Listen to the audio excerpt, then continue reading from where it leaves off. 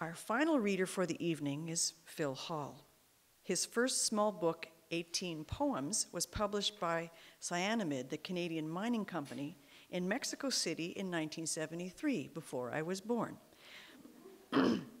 Among his many thank you for laughing. Among his many titles are Old Enemy Juice, 1988, The Unsaid, 1992, and pronounce the next one for me, Hearthedral, beautiful title, A Folk Hermetic, 1996.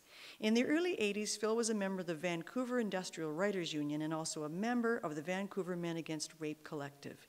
He has taught writing at York University, Ryerson University, Seneca College, George Brown College, and elsewhere.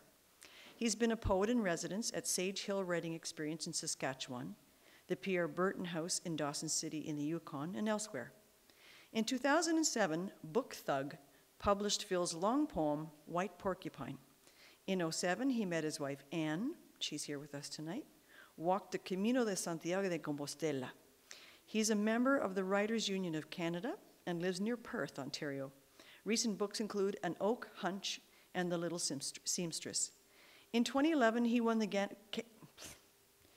the Large Goose's the Canada Governor General's Award for Poetry for his most recent collection, Killdeer, a work the jury called a masterly modulation of the elegiac through poetic time. If you have to say that quickly, you are in big trouble.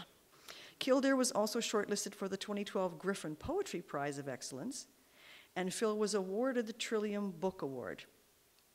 His new book is The Small Nouns Crying Faith, also with Book Thug 2013. Please welcome Phil Hall.